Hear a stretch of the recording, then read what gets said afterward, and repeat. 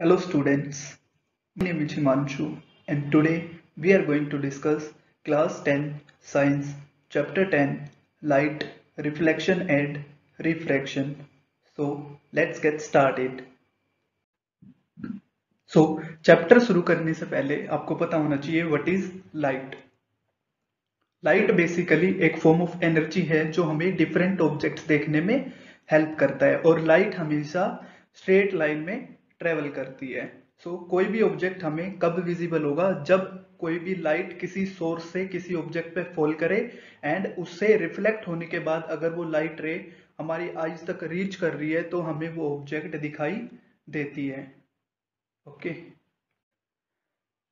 Next हम देखेंगे what is reflection of light When light falls on a bright, smooth, polished surface, it strikes the surface and bounces back. This phenomena is known as reflection of light इसको diagram की help से समझने की कोशिश करते हैं। Suppose हमारे पास ये कोई एक मिरर है और अगर कोई लाइट रे इधर से इस मिरर के सरफेस को स्ट्राइक करती है और इसको टकराने के बाद अगर वो टकरा के वापिस मुड़ जाती है ऐसे तो इसी फिनोमिना को हम क्या कहते हैं?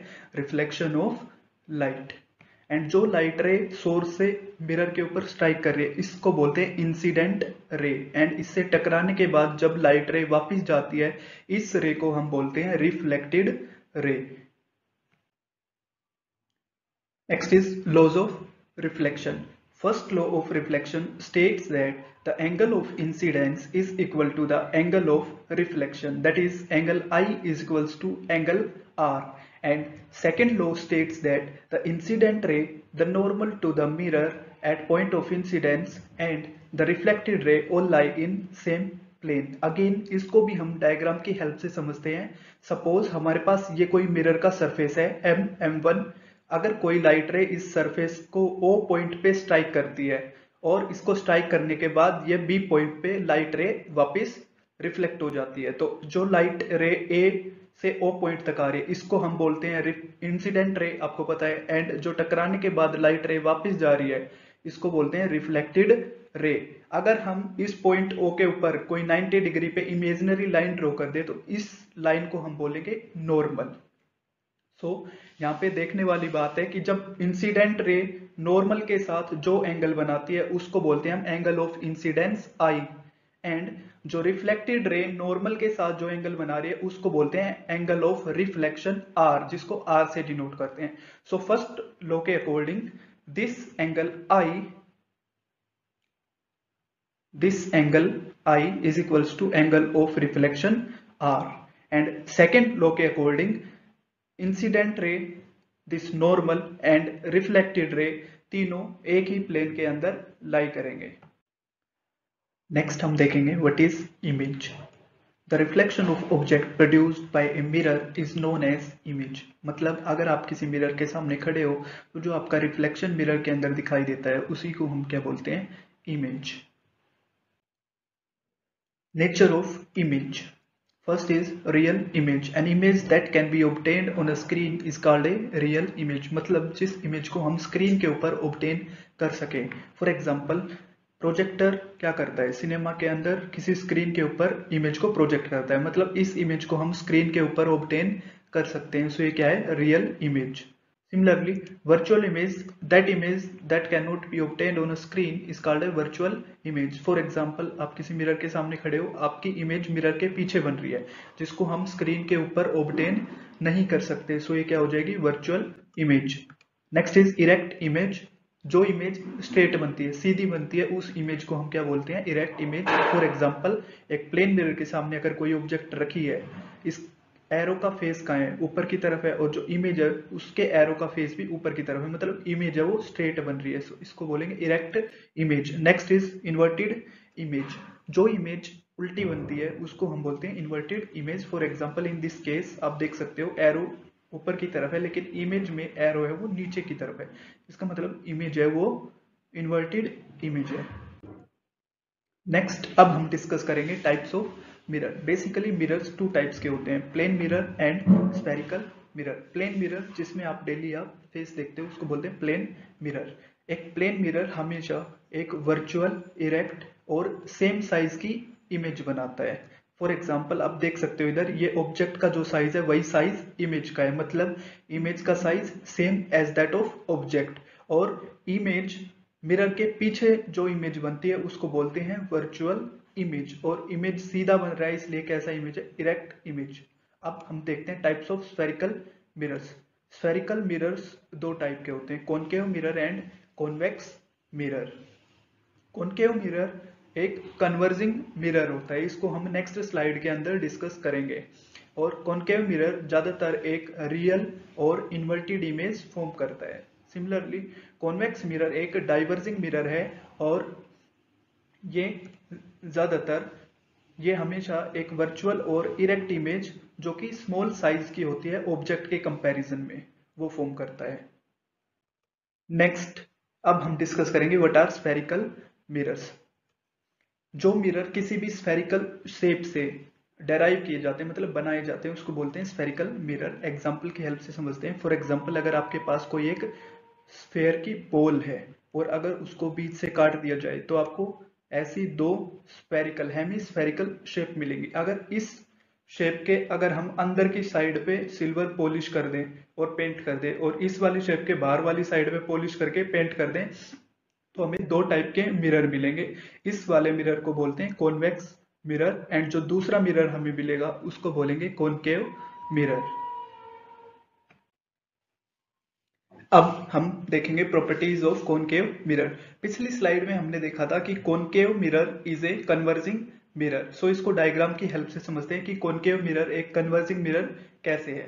सो so, हमने ये डायग्राम ड्रॉ कर लिया है। इसमें आप देख सकते हो इस मिरर के पीछे की साइड में पोलिस है मतलब ये कौन सा मिरर है? कॉनकेव मिरर और अगर अब कोई लाइट रेज पैरेलल आ रही है, ऐसे दोनों लाइट रे कैसे है? पैरेलल है, एक दूसरे से दूर दूर है। सो मिरर से टकराने के बाद ये लाइट रे कहाँ जाएगी? ऐसे नीचे की तरफ़ आएगी। और जो ये वाली लाइट रे ये कहाँ जाएगी? ऊपर की तरफ़। देखते हैं। सो ये लाइट रेज रिफ्लेक्शन होने के बाद ये लाइट रेज क्या हो रही है? एक जगह पे कंसंट्रेट हो रही है कन्वर्ज हो रही है। इसलिए हम के मिरर को क्या बोलते हैं? एक कन्वर्जिंग मिरर सो ये लाइट रेज को कहाँ पे कन्वर्ज कर रहा है? इस पॉइंट पे कन्वर्ज कर रहा है। इस पॉइंट को हम बोलते हैं फोकस इसको एफ़ से डिनोट करते हैं। नेक्स्ट हम देखेंगे प्रॉपर्टीज़ ऑफ़ कॉन्वेक्स मिरर पिछली स्लाइड में हमने पढ़ा था convex mirror is a diverging mirror मतलब ये लाइट रेज को डाइवर्स करता है। लाइट रेज पैरेलल आ रही है। रिफ्लेक्शन होने के बाद ये लाइट रे कहाँ जाएगी? ऊपर की तरफ़ और ये लाइट रे कहाँ जाएगी? नीचे की तरफ़। लाइट रेज देखो पैरेलल आ रही थी, लेकिन रिफ्लेक्शन होने के बाद इसने लाइट रेज को और ज़्यादा दूर कर दिया मतलब डाइवर्स कर दिया। इसलिए कॉन्वेक्स मिरर को हम डाइवर्जिंग मिरर भी बोलते हैं। और अगर इन लाइट रेज को हम एक्सटेंड करें पीछे इमेजिनरी लाइन हम ड्रॉ करें तो ये किस पॉइंट पे मीट करेंगी? फोकस पे। नेक्स्ट हम डिस्कस करेंगे image formation by spherical mirrors उससे पहले हमें कुछ बेसिक्स पता होना चाहिए जिसको हम डिस्कस करते हैं। सो so, इसको हम कॉनकेव मिरर की हेल्प से समझने की कोशिश करेंगे। इस मिरर के देखो पीछे की साइड पे पोलिस है मतलब ये क्या है? कॉनकेव मिरर ये पॉइंट्स कॉनकेव एंड कॉन्वेक्स दोनों मिरर्स के लिए सेम रहेंगे। सो so, आपको ये स्ट्रेट लाइन नज़र आ रही है। इस लाइन को बोलते हैं प्रिंसिपल एक्सिस एंड अगर ये मिरर हम इसको स्फेयर माने क्योंकि ये मिरर स्फेयर से ही डेराइव किया गया है तो जो ये पॉइंट सी है ये इस सर्कल का क्या होता है? सेंटर इसलिए इस पॉइंट सी को हम बोलते हैं centre of curvature and F point को बोलते हैं हम focus and point P is called pole of the mirror अब जो ये रिफ्लेक्टिंग सरफेस का जो डायमीटर है, इसको बोलते हैं अपर्चर ये इस स्फेयर का डायमीटर नहीं है, ये इस रिफ्लेक्टिंग मिरर का डायमीटर है, जिसको बोलते हैं aperture aperture and diameter of sphere is a different thing अब जो इमेज मिरर के आगे बनती है, उसको बोलते हैं real image and virtual image हमेशा मिरर के पीछे की साइड पे बनेगी. एंड जो डिस्टेंस अब अगेन ये मिरर एक स्फीयर का पार्ट है और इस पॉइंट से लेके सेंटर तक की डिस्टेंस क्या होती है? रेडियस ऑफ़ द स्फीयर इसलिए इस पॉइंट को बोलते हैं हम radius of curvature and pole से लेके फोकस तक की डिस्टेंस को हम बोलते हैं फोकल लेंथ इसको स्मॉल लेटर एफ़ से डिनोट करते हैं एंड रेडियस ऑफ़ कर्वेचर को कैपिटल आर से डिनोट करते हैं। इससे यहाँ से हमारे पास फॉर्मूला आ जाएगा focal length F is equals to R by two मतलब focal length radius of curvature का हाफ़ होता है। नेक्स्ट हम देखेंगे representation of image formation by spherical mirrors using ray diagram. Ray diagram इस चैप्टर का इंपॉर्टेंट टॉपिक है। So so, इसको केयरफुली देखना। इससे पहले आपको कुछ बेसिक बातें पता होनी चाहिए। जैसे हमारे पास केस वन अगर कोई लाइट रेज प्रिंसिपल एक्सिस के पैरेलल आ रही है। सपोज़ हमारे पास ये कोई कौन के मिरर है। और प्रिंसिपल एक्सिस इसको बोलते हैं, अगर कोई लाइट रे इसके पैरेलल आ रही है तो ये रिफ्लेक्शन के बाद लाइट हमेशा कहाँ से पास होगी? फोकस से। सिमिलरली कॉन्वेक्स मिरर के लिए अगर लाइट रे प्रिंसिपल एक्सिस से पैरेलल आ रही है तो कॉनकेव मिरर ने तो लाइट रे को कन्वर्स कर दिया क्या करेगा? डाइवर्स मतलब लाइट रे ऊपर की तरफ़ जाएगी। लेकिन जो लाइट रे ऊपर जा रही है, वो इस तरीके से ऊपर जाएगी। अगर उसको हम एक्सटेंड करें तो वो एक्सटेंडेड लाइन फोकस से पास होनी चाहिए। केस टू केस टू में अगर कोई लाइट रे फोकस से पास हो रही है तो फोकस से पास होके मिरर से टकराने के बाद वो light ray parallel to principal axis जाएगी। Similarly for convex mirror convex mirror के लिए भी अगर कोई लाइट रे इस तरीके से मिरर के ऊपर फॉल करती है कि वो फोकस से पास हो जाए एक्सटेंड करने के बाद। लेकिन एक्चुअल में लाइट यहाँ से पास नहीं होगी। यहाँ से रिफ्लेक्शन करने के बाद लाइट रे कैसे जाएगी? Parallel to principal axis case three case three के अंदर अगर कोई लाइट रे सेंटर ऑफ़ कर्वेचर से पास होगी तो वो लाइट रे जहाँ से आई है, वहीं पे वापस रिफ्लेक्ट हो जाएगी। मतलब 180 डिग्रीज पे रिफ्लेक्ट हो जाएगी। Similarly for convex mirror light ray वापस जिस पाथ से आई है, उसी पाथ से वापस चली जाएगी। नाउ केस फोर अगर कोई लाइट रे पोल पे इंसिडेंट होती है तो जिस एंगल से वो इंसिडेंट हुई है, उसी एंगल पे वो रिफ्लेक्ट हो जाएगी। सिमिलरली फॉर कॉन्वेक्स मिरर जिस एंगल पे वो पोल पे इंसिडेंट हुई है उसी एंगल पे रिफ्लेक्ट हो जाएगी। नेक्स्ट अब हम डिस्कस करते हैं image formation by concave mirror and हमारा केस फ़र्स्ट है जब ऑब्जेक्ट इन्फिनिटी के ऊपर है। सो so, हम पहले डायग्राम बना लेते हैं। सो so, ये हमारा कॉनकेव मिरर है। दिस इज़ प्रिंसिपल फोकस इसको बोलते हैं सेंटर ऑफ़ कर्वेचर एंड ये क्या है? Pole this line is known as principal axis अब अगर कोई ऑब्जेक्ट इन्फिनिटी पर है मतलब वो ऑब्जेक्ट मिरर से बहुत ज़्यादा दूर है। बहुत ज़्यादा दूर है। इन्फिनिटी मतलब वो ऑब्जेक्ट कितना भी दूर हो सकता है। एंड उसका साइज़ भी बहुत ज़्यादा बड़ा है। इनफाइनाइट साइज़ है। सो लाइट रेज जब ऑब्जेक्ट इन्फिनिटी पर होता है तो लाइट रेज पैरल आती है। ये दोनों लाइट रे पैरल आई। और आपको पता है, जो लाइट रे प्रिंसिपल एक्सिस के पैरल आती है, वो रिफ्लेक्शन होने के बाद कहाँ से पास होती है? फोकस से। एंड इंपॉर्टेंट पॉइंट यहाँ पे क्या है? जब लाइट रे रिफ्लेक्ट होके जिस पॉइंट पर मीट करती है, उसी पॉइंट पे हमारा इमेज बनता है। तो इस केस में लाइट रे कहाँ पे मीट कर रही है? फोकस पर। तो हमारा इमेज भी कहाँ बनेगी? फोकस पर। अब हम कुछ इमेज की प्रॉपर्टीज़ बतानी होती है। पेपर में अगर आपसे कोई डायग्राम पूछेगा तो आपको डायग्राम के साथ साथ इमेज की प्रॉपर्टीज़ उसकी पोजीशन एंड उसका नेचर भी बताना होगा। तो हम सबसे पहले पोजीशन पोजीशन बताएँगे इमेज की। इमेज आप क्लियरली देख सकते हो जहाँ पे लाइट रेज मीट करती हैं वहीं पे इमेज फॉर्मेशन होता है। तो लाइट रेज कहाँ मीट कर रही है? फोकस पे। सो so, इमेज की पोजिशन क्या हो जाएगी? At focus next is nature nature में आपको बताना होता है इमेज है वो रियल है वर्चुअल है इरेक्ट है या फिर इन्वर्टेड है। सो so, हमने स्टार्टिंग में डिस्कस किया था जो इमेज मिरर के आगे की साइड बनती है उसको बोलते हैं हम रियल इमेज सो ये इमेज मिरर के आगे की साइड पे या फिर हम कह सकते हैं सेम साइड ऑफ़ ऑब्जेक्ट जहाँ पे ऑब्जेक्ट रखा था वहीं पे इमेज बन रही है। मतलब ये कैसी इमेज है? रियल और जो इमेज रियल होती है वो हमेशा इन्वर्टेड इमेज होती है। सो so, इसका नेचर क्या हो जाएगा? रियल एंड इन्वर्टेड अब साइज़ की बात करें तो देखो ये बिल्कुल एक पॉइंट के जैसा है। इसका मतलब ऑब्जेक्ट की साइज़ क्या होगी? पॉइंट साइज़ या फिर हम बोल सकते हैं हाईली डिमनिस्ट अब चलते हैं नेक्स्ट डायग्राम की तरफ़। केस टू केस टू में हमारा ऑब्जेक्ट कहा है? बेउंड सेंटर मतलब सेंटर के पीछे। ऑब्जेक्ट कहा रखा हुआ है? सेंटर के पीछे। तो जो फ़र्स्ट रे जाएगी वो parallel to principal axis and आपको पता है टकराने के बाद कहाँ से पास होती है? रे फोकस से। सेकंड रे हमारी पास होगी सेंटर से। तो सेंटर से जो रे आती है, आपको पता है, जिस पाथ से आई है, वहीं पे 180 डिग्रीज पे रिफ्लेक्ट हो जाएगी वापस। अब जैसा कि हमने पिछले डायग्राम में डिस्कस किया, जहाँ पे लाइट रेज मीट करती है, वहीं पे हमारा इमेज फॉर्मेशन होगा। तो लाइट रेज यहाँ पे मीट कर रही है मतलब इमेज हमारा यहीं पे बनेगा। तो इसको हम इस प्रिंसिपल एक्सिस के साथ ज्वाइन कर देंगे। ये हमारी इमेज मिल जाएगी हमें। अब अगेन हमें इमेज की प्रॉपर्टीज़ साइज़ पोजीशन के बारे में बताना होगा। तो सबसे पहले हम पोजीशन बताएँगे। पोजीशन कहाँ पे है? देखो, ये सेंटर और ये फोकस इमेज कहाँ बन रहा है? सेंटर और फोकस के बीच में। सो पोजिशन ऑफ़ इमेज क्या हो जाएगा? Between centre and focus second nature again image कहाँ बन रही है? मिरर के आगे की तरफ़ बन रही है या फिर हम बोल सकते हैं ऑब्जेक्ट के सेम ऑब्जेक्ट वाली साइड में बन रही है। तो नेचर क्या होगा? इसका रियल और जो इमेज आप क्लियरली देख सकते हैं उल्टी इमेज बन रही है। उल्टी इमेज मतलब इनवर्टेड सो so, अगर आपको समझना है कि इमेज है वो रियल है वर्चुअल है तो अगर कोई इमेज उल्टी बन रही है इनवर्टेड है तो वो रियल भी होगी और अगर कोई इमेज रियल है तो वो इन्वर्टेड होगी। सो so, यहाँ पे इन्वर्टेड इमेज है तो इसका नेचर क्या हो जाएगा? Real and inverted third point इसका साइज़ आप क्लियरली देख सकते हो ऑब्जेक्ट कितना बड़ा है और इमेज का साइज़ छोटा है। तो साइज़ क्या रहेगा? इसका डिमिनिस्ड आप स्मॉल साइज़ भी लिख सकते हो। Small size than object case three में हमारा ऑब्जेक्ट है वो सेंटर के ऊपर रखा हुआ है।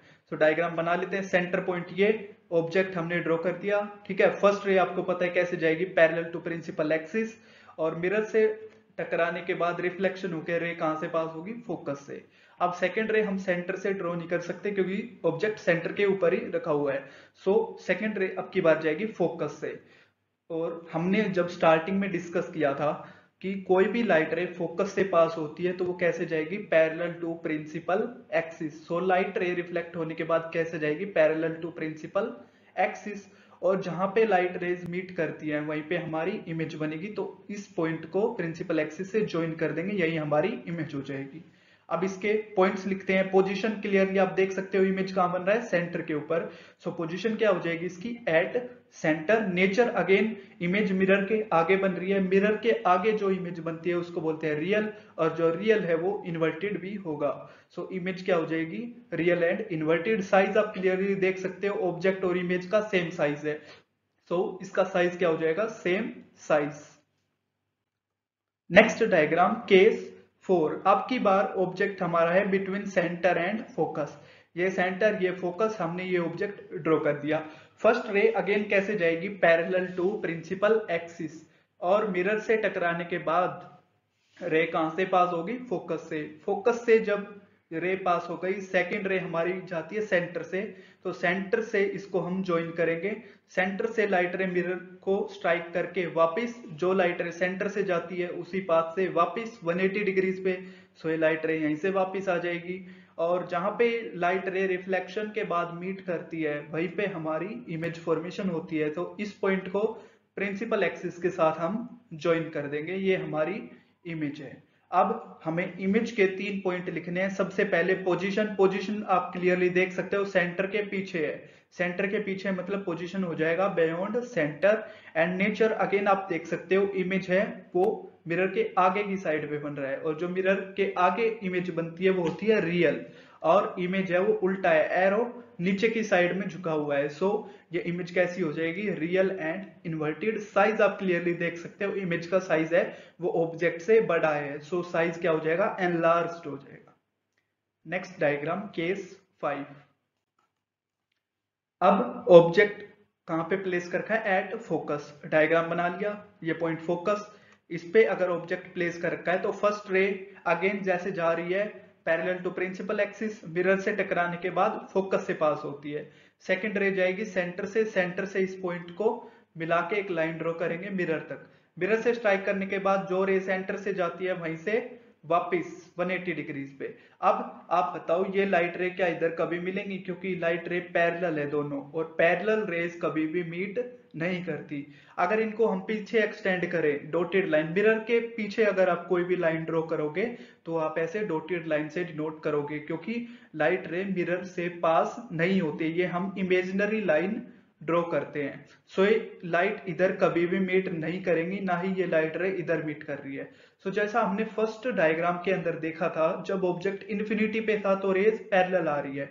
इस बार रेज पैरेलल जा रही है तो इमेज हमारी कहाँ हो जाएगी? एट इन्फिनिटी सेकंड नेचर हमारा नेचर देखो इमेज किस साइड पे है? मतलब अगर इमेज इन्फिनिटी पे बनेगा तो मिरर के आगे बनेगा, और जो मिरर के आगे बनती है क्या होगी? Real and inverted image size हमने जब केस फ़र्स्ट अगेन जब किया था ऑब्जेक्ट इंफिनिटी पे है तो साइज़ उसका बहुत ज़्यादा बड़ा होता है तो साइज़ क्या हो जाएगा? Highly and last concave mirror के लिए? लास्ट एंड सिक्स डायग्राम है, और हमारा केस सिक्स है ऑब्जेक्ट कहाँ पे प्लेस किया है? बिटवीन पोल एंड फोकस इस पॉइंट को बोलते हैं focus principal focus and this point is known as pole of the mirror अगर ऑब्जेक्ट इन दोनों के बीच में रखा हुआ है ऐसे तो फ़र्स्ट रे आप फोकस से पास कराते हो, इसमें आप क्या करो? फ़र्स्ट रे को पोल से स्ट्राइक कराओ। और जो लाइट रे पोल पे स्ट्राइक करती है, जिस एंगल से आई है, उसी एंगल पे रिफ्लेक्ट हो जाएगी। और सेकेंड रे कहाँ से पास होती है? सेंटर से।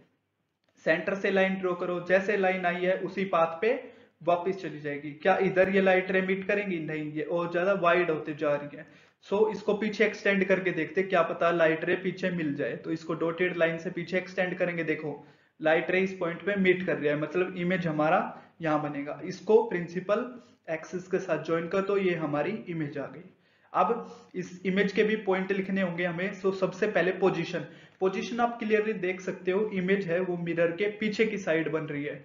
मतलब इमेज की पोजीशन क्या हो जाएगी? Behind the mirror second nature जब हमने स्टार्ट किया था, जो तो बताया था, जो मिरर के आगे इमेज बनेगी, वो होगी रियल और जो मिरर के पीछे बनेगी, उसको क्या बोलेंगे? वर्चुअल इमेज और जो वर्चुअल इमेज होगी, वो इरेक्ट भी होगी। आप क्लियरली देख सकते हो इमेज सीधा बन रहा है तो क्या होगा? इरेक्ट तो नेचर क्या हो जाएगा? वर्चुअल एंड इरेक्ट और साइज़ आप क्लियरली देख सकते हो ऑब्जेक्ट इतना छोटा सा है और इमेज का साइज़ बहुत ज़्यादा बड़ा है। तो इमेज का साइज़ क्या हो जाएगा? एन लार्ज सो अब हमारे कॉनकेव मिरर के छह के छह डायग्राम खत्म हो गए हैं। अब हम देखेंगे ray diagram for convex mirror convex mirror के लिए आपके पास सिर्फ़ और सिर्फ़ दो केस बनते हैं। ठीक है? फ़र्स्ट केस है आपका जब ऑब्जेक्ट इन्फिनिटी पर है। हम पहले देख चुके जब ऑब्जेक्ट इन्फिनिटी पर होता है तो रेज कैसे आएगी? Parallel parallel to principal axis और जो लाइट रे पैरेलल आती है, वो इस तरीके से डाइवर्ज होगी कि अगर इसको हम एक्सटेंड करें तो कहाँ से पास होगी? फोकस से. इस लाइन को भी एक्सटेंड करेंगे तो कहाँ से पास होगी? फोकस से.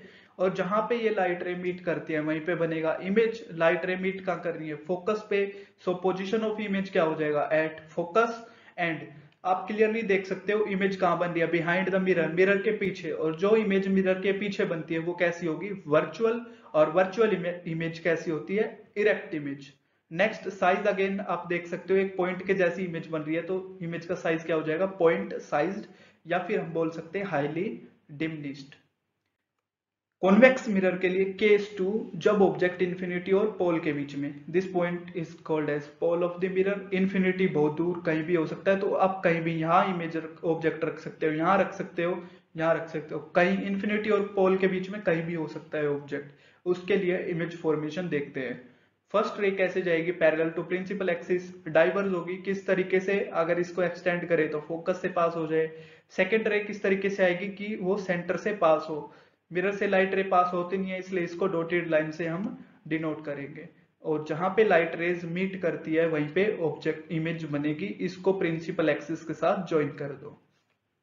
क्लियरली आप पोजीशन ऑफ़ इमेज देख सकते हो पोल और फोकस के बीच में। तो पोजीशन क्या हो जाएगी? Between pole and focus nature image है, वो मिरर के पीछे बन रहा है। जो इमेज मिरर के पीछे बनता है, वो कैसी होगी? वर्चुअल एंड इरेक्ट और साइज़ इसका आप क्लियरली देख सकते हो ऑब्जेक्ट इतना बड़ा है और इमेज छोटा सा बन रहा है तो साइज़ क्या हो जाएगा?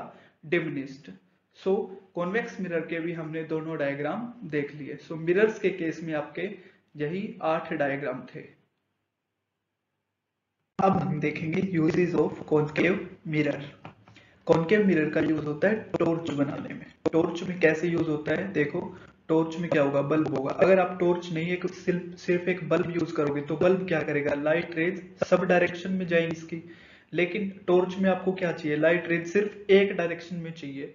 तो जो लाइट रे पीछे की तरफ़ जा रही है, वो लाइट रेज तो हमारी वेस्ट हो जाएगी। सो कॉनकेव मिरर का काम क्या होता है? कॉनकेव मिरर आपको पता है क्या है? कन्वर्जिंग मिरर है। सो जो लाइट रे इस तरीके से आएँगी, उनको ये क्या करेगा? आगे की तरफ़ रिफ्लेक्ट कर देगा, जिससे हमें पैरल बीम ऑफ़ लाइट मिलती है। सेम चीज़ व्हीकल हेडलाइट्स के अंदर उसमें भी हमें क्या चाहिए होता है? पैरल बीम चाहिए लाइट की। उसमें भी हम किसका यूज़ करेंगे? कॉनकेव मिरर का। Next dentist use concave mirror dentist अभी हमने जो डायग्राम देखे, उनमें ज़्यादातर केस में कॉनकेव मिरर क्या बना रहा है? एक बड़ी इमेज बना रहा है। जो लास्ट डायग्राम हमने केस सिक्स देखा था, आप पीछे जाके देख सकते हो, उसमें एक large and virtual and erect image बन रही है। इसलिए हम यूज़ करते कॉनकेव मिरर का। नेक्स्ट सेम यूज़ है शेविंग मिरर के अंदर शेविंग मिरर के लिए भी हमें एक फेस का लार्जर एरिया देखना होता है, जिससे हम बेटर शेविंग कर पाते हैं। उसके बाद सोलर फर्नेस सोलर फर्नेस के अंदर भी मतलब सौर भट्टी, जिससे हम सोलर एनर्जी का यूज़ करके खाना पकाने में हम किसी में भी यूज़ कर सकते हैं सोलर हीट एनर्जी का। तो उसमें कौन कॉनकेव मिरर का काम क्या होता है? वो सनलाइट को एक जगह पे कंसंट्रेट करता है सारे रेज को, जिससे टेम्परेचर राइज हो जाता है। नेक्स्ट हम देखेंगे use of convex mirror convex mirror हमने देखा था जो भी डायग्राम कि कॉन्वेक्स मिरर हमेशा एक वर्चुअल इरेक्ट और स्मॉल साइज़ की इमेज बनाता है देन ऑब्जेक्ट इसलिए इसको हम कहाँ पे यूज़ करते हैं? व्हीकल्स के अंदर, जो साइड व्यू मिरर जिसको विंग मिरर्स भी बोलते हैं, जो व्हीकल के साइड में मिरर लगा रहता है, उसमें आपने ऑब्ज़र्व भी किया होगा, जो हमें इमेज दिखती है, वो ऑब्जेक्ट से हमेशा छोटा रहता है। उस मिरर पे लिखा भी रहता है the objects appearing the mirror are nearer than they appear in the mirror मतलब जो ऑब्जेक्ट दिखाई दे रही है, वो एक्चुअल में पास है, जितना कि मिरर में दिखाई दे रहा है। नेक्स्ट अगर ये हमारा कॉन्वेक्स मिरर है तो नॉर्मल प्लेन मिरर आप यूज़ करोगे वो स्मॉल एरिया को कवर करता है लेकिन ये मिरर देखो इस साइड पे कर्व है इसलिए ये प्लेन मिरर के कंपैरिजन में ज़्यादा एरिया कवर करता है। सो so, आपसे पेपर में पूछा भी जा सकता है कि कॉन्वेक्स मिरर का यूज़ ही क्यों करते हैं रियर व्यू मिरर के लिए। सो so, आप फ़र्स्ट पॉइंट बताओगे कि ये हमेशा एक virtual erect and small size की इमेज बनाता है। एंड सेकंड पॉइंट आप बताओगे कि ये एक लार्जर एरिया कवर करता है। आप बोल सकते हो larger field of view it covers a larger field of view second इसका यूज़ करते हैं एटीएम में पार्किंग में सिक्योरिटी के लिए आपने देखा हुआ पार्किंग के अंदर बड़ा सा एक मिरर लगा रहता है, जिसमें भी इमेज है वो छोटी बनती है। वो भी क्या है? एक कॉन्वेक्स मिरर नेक्स्ट हम देखेंगे sign convention for reflection of spherical mirror reflection of spherical mirror में हमें डायग्राम बनाते टाइम और कैलकुलेशंस करते टाइम हमें कुछ रूल्स को फॉलो करना होता है, जिसको हम बोलते हैं साइन कन्वेंशन या इनको cartesian system of sign convention भी बोल देते हैं।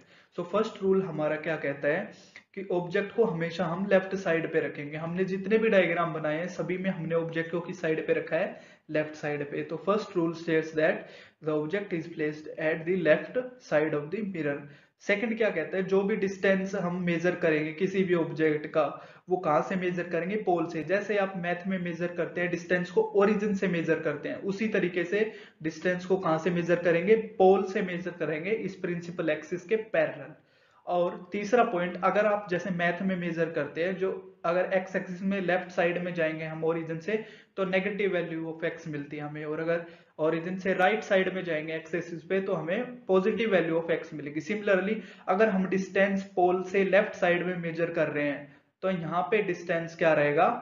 पॉजिटिव यहाँ पे डिस्टेंस क्या रहेगा? पॉजिटिव और राइट right साइड में डिस्टेंस क्या रहेगा? नेगेटिव सिमिलरली अगर हम इमेज की हाइट मेजर करेंगे तो ऊपर की साइड पे क्या रहेगी वैल्यू पॉजिटिव और नीचे की साइड पे वैल्यू क्या रहेगी? नेगेटिव ओके इसमें यही सब है। इसको बोलते हैं हम sign convention for reflection of spherical mirrors next is mirror formula बहुत ज़्यादा इंपॉर्टेंट है कैलकुलेशन के लिए और न्यूमेरिकल भी आपको पेपर में देखने को मिल सकता है। So mirror formula is one by v plus one by u is equals to one by f अब v क्या है? V है इमेज की distance from pole of the mirror और u क्या है? ऑब्जेक्ट की डिस्टेंस एंड स्मॉल f आपको पता ही है इसको क्या बोलते हैं? फोकल लेंथ अब इधर देख भी सकते हो आप यू क्या ऑब्जेक्ट डिस्टेंस v इमेज की डिस्टेंस एफ़ फोकल लेंथ एक इंपॉर्टेंट बात यहाँ से याद रखने वाली क्या है? जो कॉन्वेक्स मिरर है, उसके लिए फोकल लेंथ हमेशा क्या रहेगी? पॉजिटिव और कॉन्केव मिरर के लिए फोकल लेंथ हमेशा क्या रहेगी? नेगेटिव एंड एक और इंपॉर्टेंट पॉइंट ऑब्जेक्ट हमेशा हम किस साइड पे रखते हैं? लेफ़्ट साइड पे. और लेफ़्ट साइड पे वैल्यू कैसी रहेगी? नेगेटिव सो so, जो भी हम न्यूमेरिकल करेंगे उसमें हम ऑब्जेक्ट की डिस्टेंस को ऑब्जेक्ट की डिस्टेंस को हम ज़्यादातर केस में क्या लेंगे? नेगेटिव बिकॉज़ ऑब्जेक्ट होगा लेफ़्ट साइड पे और लेफ़्ट साइड पे वैल्यू क्या रहती है? नेगेटिव अब हम देखेंगे magnification of spherical mirrors magnification क्या होता है? मैग्निफिकेशन हमें बताता है कि जो इमेज होगा वो ऑब्जेक्ट के कंपैरिजन में कितना बड़ा साइज़ होगा या फिर कितना छोटा होगा। मैग्निफिकेशन को डिनोट करते हैं एम से, जिसका फॉर्मूला है height of image upon height of object image की हाइट को डिनोट करते हैं हम एच डैश से और ऑब्जेक्ट की हाइट को डिनोट करते हैं एच से। इसका दूसरा फॉर्मूला हो जाएगा minus v by u v क्या है? इमेज की distance from pole of the mirror और यू क्या है? ऑब्जेक्ट की डिस्टेंस इन दोनों को एक साथ करके हम इस प्रकार से लिख सकते हैं। जो पॉइंट नोट करने वाली बात है, वो क्या है कि मैग्निफिकेशन हमेशा नेगेटिव रहेगा फॉर रियल इमेज और वर्चुअल इमेज के लिए मैग्निफिकेशन पॉजिटिव रहेगा। Height of image again positive रहेगी for virtual image and negative रहेगी for real image distance again positive for virtual image and negative for real image ये points हमें numerical करते time helpful होंगे। तो हमारा रिफ्लेक्शन वाला पार्ट खत्म हो गया है। अब हम देखेंगे reflection of light the deviation of light rays from its path when it travels from one transparent medium to another is known as refraction of light. For example अगर हमारे पास कोई ग्लास स्लैब है ऐसे, उससे अगर कोई लाइट रे पास होती है लाइट को ट्रेवल करने लाइट अलग अलग मीडियम में अलग अलग स्पीड से ट्रेवल करती है। डायग्राम को इजी बनाने के लिए इसको हम रेक्टेंगल की शेप में ड्रॉ करेंगे। सो so, ये ग्लास की स्लैब है इसके बाहर क्या होगी? एयर मतलब लाइट ग्लास के बाहर किस मीडियम से ट्रेवल करेगी? एयर से। और ये मीडियम क्या हो जाएगा? ग्लास और इसके बाहर अगेन मीडियम यहाँ पे क्या है? एयर तो सपोज़ कोई लाइट रे इसके ऊपर ऐसे इंसिडेंट होती है। सो लाइट को जाना कैसे स्ट्रेट चाहिए ऐसे, लेकिन एक्चुअल में लाइट ऐसे स्ट्रेट ट्रेवल नहीं करती ग्लास के अंदर, वो थोड़ा बेंट हो जाती है। मतलब उसका पाथ थोड़ा चेंज हो जाता है। अगेन अब लाइट इससे जब बाहर आएगी ग्लास से तो ये स्ट्रेट लाइन में जाना चाहिए, लेकिन अगेन लाइट रे फिर से बेंड हो जाती है। इसी फिनोमिना को हम बोलते हैं रिफ्रेक्शन ऑफ़ लाइट जब लाइट किसी एक ट्रांसपेरेंट मीडियम से दूसरे ट्रांसपेरेंट मीडियम में जाती है तो उसकी डायरेक्शन में चेंजमेंट आता है। उसी को हम क्या कहते हैं? Refraction of light. इधर मीडियम क्या था? एयर यहाँ पे मीडियम चेंज हो गया ग्लास इसलिए लाइट की डायरेक्शन में चेंजमेंट आ गया। अगेन यहाँ पे मीडियम ग्लास है, फिर से मीडियम चेंज हो गया, इधर मीडियम एयर है तो फिर से डायरेक्शन चेंज हो गई। अब एयर है, वो एक रेयरर मीडियम है, और ग्लास है, एक डेंसर मीडियम है। ग्लास ऑप्टिकली डेंसर मीडियम है, और एयर क्या है? रेयरर मीडियम है। तो जब भी लाइट किसी रेयरर मीडियम से डेंसर मीडियम के अंदर एंटर करती है तो वो बेंड होती है टुवर्ड्स नॉर्मल नॉर्मल आपको पता है, कोई भी 90 डिग्री पे लाइन किसी सरफेस के ऊपर एट पॉइंट ऑफ़ इंसिडेंस उसको बोलते हैं नॉर्मल तो हमने नॉर्मल ड्रॉ कर लिया. अब लाइट रे जब रेयरर मीडियम जो कि एयर है, उससे डेंसर मीडियम ग्लास के अंदर गई रेयरर मीडियम से डेंसर मीडियम में गई तो ये यहाँ से बैंड हो गई नॉर्मल की तरफ़, अंदर की तरफ़ बैंड हो गई टुवर्ड्स दी नॉर्मल और जब लाइट रे डेंसर मीडियम से रेयरर मीडियम में जाती है तो वो बैंड हो जाती है अवे फ्रॉम नॉर्मल ये नॉर्मल है। जाना चाहिए ऐसे, इससे नॉर्मल से दूर बैंड हो जाएगी। मतलब मतलब लाइट जब एंटर करती है rarer medium to denser medium it bends towards the normal and when light travels from denser medium to rarer medium it bends away from the normal next ऐसा हो क्यों रहा है? क्योंकि लाइट की स्पीड अलग अलग मीडियम के अंदर लाइट की स्पीड अलग अलग होती है। सो so, जब लाइट रेयरर मीडियम से डेंसर मीडियम में एंटर करेगी तो उसकी स्पीड कम हो जाती है इसलिए वो नॉर्मल की तरफ़ बेंड हो जाती है। अगेन सिमिलरली अगर लाइट रे डेंसर मीडियम से रेयरर मीडियम में जा रही है उसकी स्पीड इंक्रीज हो जाएगी इसलिए वो away from the normal bend हो जाएगी। नेक्स्ट लॉज ऑफ़ रिफ्रैक्शन हमने लॉज ऑफ़ रिफ्लेक्शन देखे थे, अब हम देखेंगे लॉज ऑफ़ रिफ्रैक्शन सपोज़ वही एग्ज़ाम्पल ग्लास लैब का, जो रे इसके ऊपर आ रही है किसी सोर्स से, इसको बोलते हैं हम इंसिडेंट रे ये आपको पता है नॉर्मल और जो इसके बाद रिफ्रैक्शन हुआ है रिफ्रैक्शन इसलिए इसको बोलेंगे रिफ्रैक्टेड रे और जो रे अगेन बाहर आ रही है, उसको बोलते हैं इमरजेंट रे और इसको आपको पता है नॉर्मल बोलते हैं. ओके और जो नॉर्मल के साथ इंसिडेंट रे बना रही है एंगल इसको बोलते हैं एंगल ऑफ़ इंसिडेंस आई यहाँ पे जो ये एंगल है, इसको बोलेंगे एंगल ऑफ़ रिफ्रैक्शन आर अब लो के पॉइंट्स देखते हैं। फ़र्स्ट लो क्या कहता है? Incident ray this and the normal to point of incidence this and the refracted media sorry refracted ray all lie in same plane मतलब ये सारे एक प्लेन में लाई करेंगे। ये फ़र्स्ट जो रिफ्लेक्शन के लो है उसके जैसा है। बस रिफ्लेक्टेड रे की जगह पे क्या आ जाएगा? Refracted ray second law states that the ratio of sine of angle of incidence to sine of angle of refraction is a constant मतलब जो एंगल आई और आर है, इनका साइन का रेशियो मतलब sine i by sine r वो हमेशा क्या रहेगा? कॉन्स्टेंट और इसकी कंडीशन क्या है? जो आपके एंगल है ना आई और आर वो ज़ीरो से 90 डिग्री के बीच में होना चाहिए।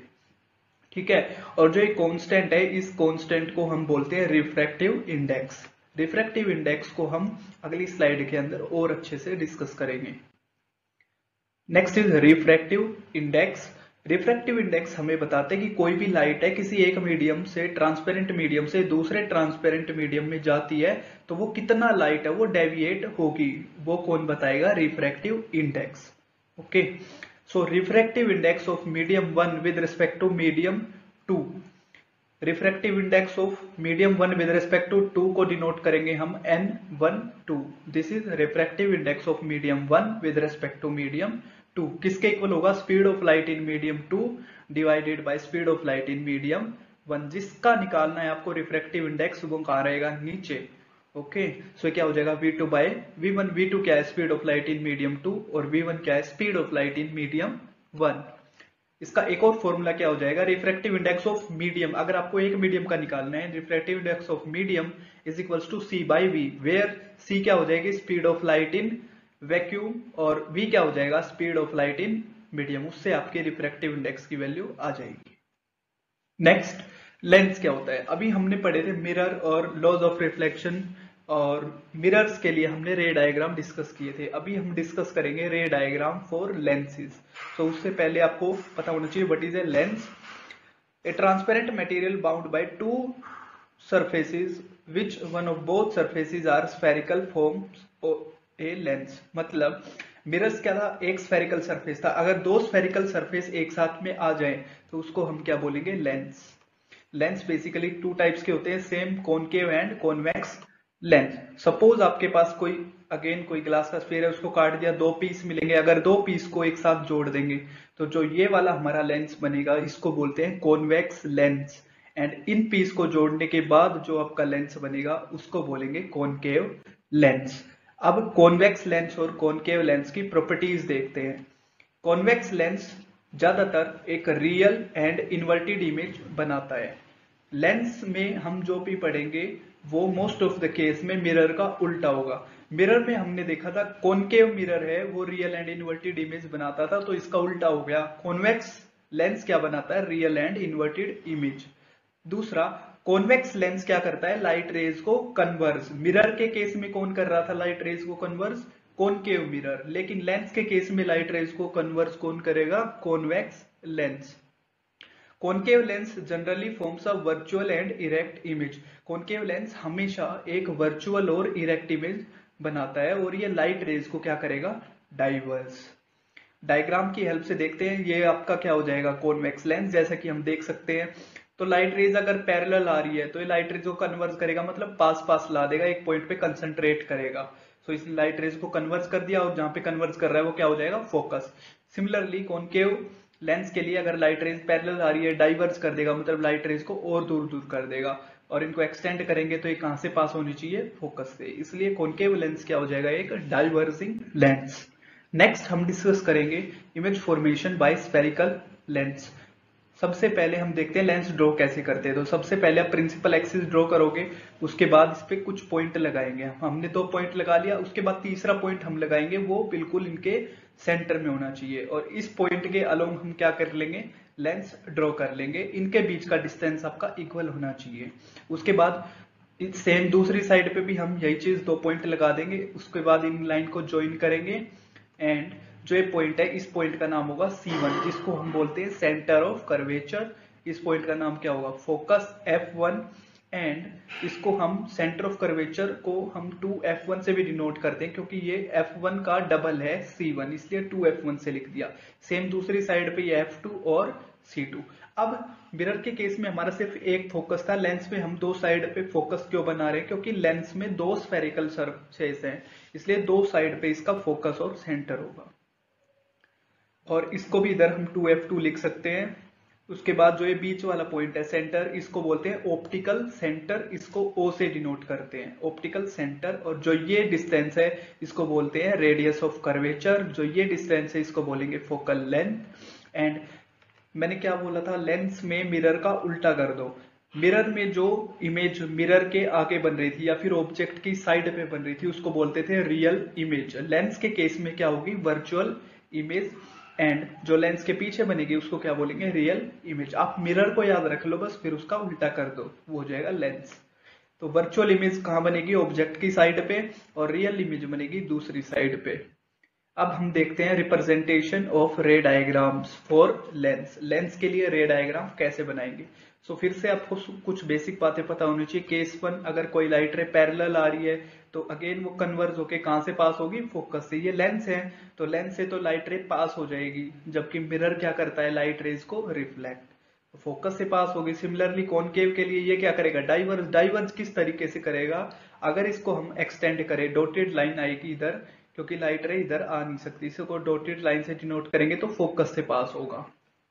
सिमिलरली केस टू जब कोई लाइट रे फोकस से पास होगी तो वो रिफ्रैक्ट होने के बाद स्ट्रेट जाएगी parallel to principal axis similarly concave के लिए अगर कोई फोकस से आ रही है कॉनकेव क्या करता है? लाइट रेज को डाइवर्स करेगा। ये भी क्या जाएगी? अगर स्ट्रेट आ रही है तो ये क्या जाएगी? प्रिंसिपल एक्सिस के पैरेलल जाएगी. नेक्स्ट अगर कोई light ray optical centre O से पास हो रही है तो स्ट्रेट निकल जाती है। सिमिलरली आपका कॉनकेव के लिए भी लाइट है, वो स्ट्रेट निकल जाएगी। अब हम देखते हैं image formation by convex lens so first case है जब हमारी ऑब्जेक्ट इन्फिनिटी पर है। आपको पता है जब ऑब्जेक्ट इन्फिनिटी पर होता है तो रेज कैसे आएँगी? पैरेलल आएँगी। तो रेज पैरेलल आ गई और जो रेज पैरेलल आती है, वो रिफ्रैक्ट होने के बाद कहाँ से पास होगी? F2 से। तो इन रेज को F2 से पास करा दो और जहाँ पे हमारी रेज मीट करती है, वहीं पे इमेज बनती है। तो रेज मीट कहाँ कर रही है? F2 पे तो इमेज कहाँ बनेगी? F2 पे। तो पोजीशन क्या हो जाएगी? एट फोकस नेचर इसका मिरर लेंस के पीछे है। लेंस के पीछे क्या रहेगी? रियल एंड इन्वर्टेड एंड इसका साइज़ आपको दिख रहा है। पॉइंट साइज़ रहेगा या फिर हाईली डिमिनिश्ड रहेगा। Case two when object is beyond two f one मतलब ऑब्जेक्ट टू एफ़ वन के पीछे यहाँ कहीं रखा होगा ऑब्जेक्ट रख लेते हैं। फ़र्स्ट रे आपको पता है स्ट्रेट जाएगी। रिफ्लेक्ट होने के बाद आपको पता है फोकस से। सेकंड रे हमेशा ऑप्टिकल सेंटर से जाएगी। तो सेकंड रे हम ड्रॉ करेंगे ऑप्टिकल सेंटर तक। और ऑप्टिकल सेंटर से जो रेज आती है, वो स्ट्रेट जाएगी। जहाँ पे रेज मीट करती है, वहीं पे इमेज बनती है तो इसको हम प्रिंसिपल एक्सिस से ज्वाइन कर देंगे। ये हमारी इमेज हो गई। इमेज के तीन पॉइंट लिखते हैं। सबसे पहला पोजीशन ये है F2 और 2F2 के बीच में between F2 and 2F2 nature क्या रहेगा? देखो, उल्टा है और क्या बताया था? जो इमेज उल्टी रहती है, वो रियल भी रहेगी। तो क्या हो जाएगा? रियल एंड इन्वर्टेड और साइज़ आप क्लियरली देख सकते हो, इसका साइज़ है स्मॉल साइज़ या फिर डिमिनिस्ड नेक्स्ट है हमारा case third when object is at 2f1 diagram बनाते हैं इसका।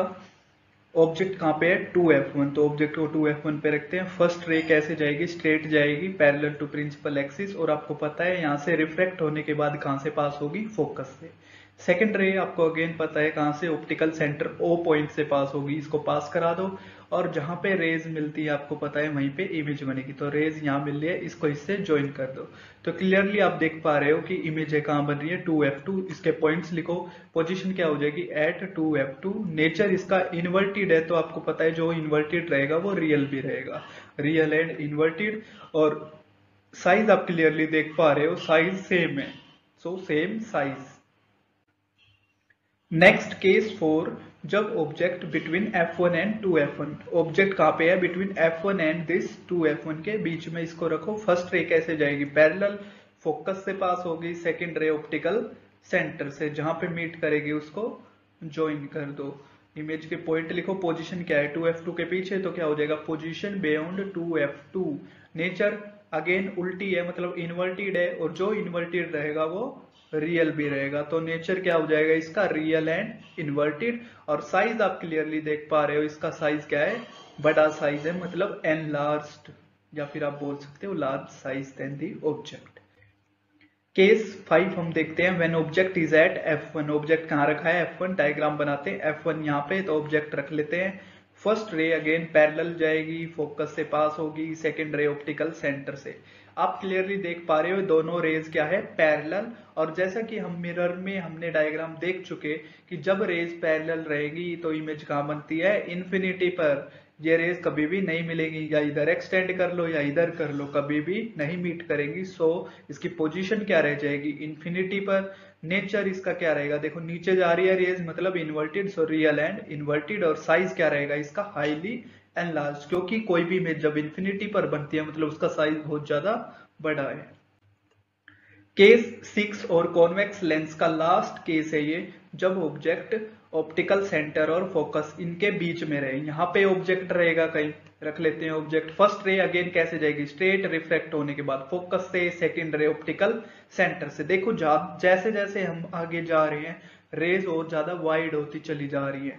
तो ये रेज इधर तो कभी मिलेंगी नहीं, इसलिए इनको हम पीछे एक्सटेंड करके देखते हैं। क्या पीछे रेज मिल पा रही है?